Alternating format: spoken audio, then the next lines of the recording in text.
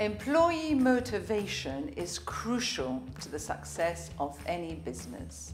Today, we're going to look at two models which discuss personal development and workplace growth. Maslow's Pyramid of Human Needs, 1943, is a motivational theory which identifies the basic needs of human beings. Maslow identifies that a human being needs basic needs in order to develop and to reach self-fulfillment. The basic needs, which is the first tier of the pyramid, are water, food, safety, security. As they ascend and they feel a sense of belonging, they will achieve a top performance. The second model is McGregor's X and Y theory, which discusses two management styles.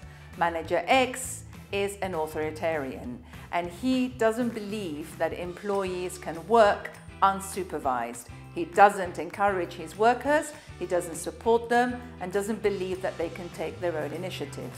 In contrast, Manager Y encourages his employees to work hard, to have initiative, to take the lead at times.